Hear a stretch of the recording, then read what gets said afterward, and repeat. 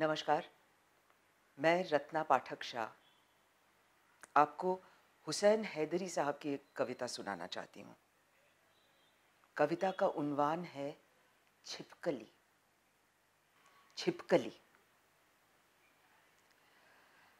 खाकी रंग दीवारों पर लटकती गांधी जी की बड़ी सी फ़ोटो के पीछे से दोपहरी में एक लंबी, भूरी सी छिपकली निकलती है। रेंग कर खामोशी से इर्द गिर्द फ़ोटो के गश्त ये लगाती है।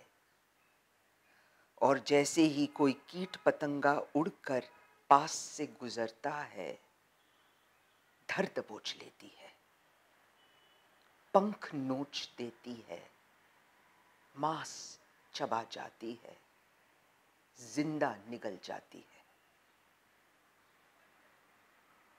फिर बड़े सलीके से, जैसे कुछ हुआ न हो, कोई भी मरा न हो, रेंगती हुई वापस गांधी जी की फ़ोटो के पीछे लौट जाती है।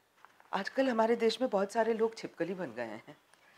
गांधी जी की फ़ोटो के आड़ में काफ़ी कुछ कर लेते हैं।